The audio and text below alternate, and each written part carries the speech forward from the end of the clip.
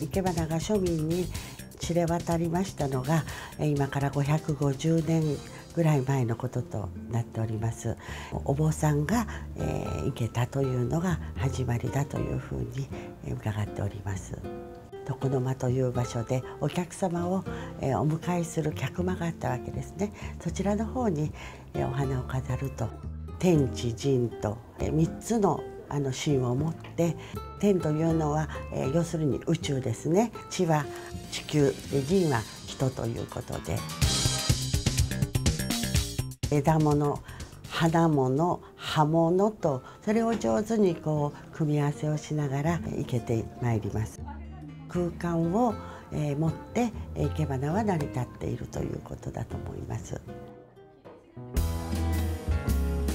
池坊原流、えー、そして草月流とそれを一応三大流派というふうに呼ばれております。30万人超えていると言われてます。えー、始めたのが12歳でございますので、えー、約50年ということになります。あの私は小原流でございます。8000人の方たちが東京でお花を習っていらっしゃいます。その一応長として私も一生懸命頑張ってまいります。花がある生活は豊かになると思います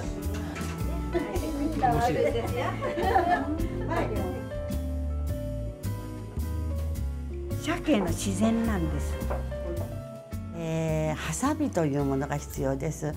小原流の場合は、えー、わらび手といってあのわらびのこう形をした絵がついているハサミを、えー、使用しております。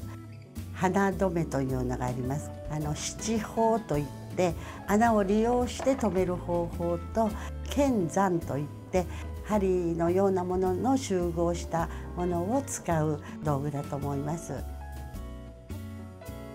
万のものと兵のもの壺ですね大きく分けますとその2種類になるかと思います材料によってはお家にあるワイングラスであるとかフルーツコンポートであるとかお使いいただきまして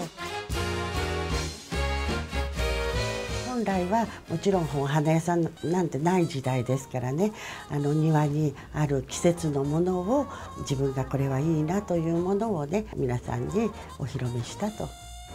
やはり生け花は大変季節というものを、えー、大事にしてアッシュとコウハネでなんか風が吹いてるのを出せたらいいかなと思って。一葉一輪のお花でも生け花というのは表現ができますので現代に合わせた生け方というのも今の生け花でございます。家に飾ることによってご家族の方お友達にも楽しんでいただけるのが生け花でございます花の命を大切にしていけるっていうことだといつも思っていけてます。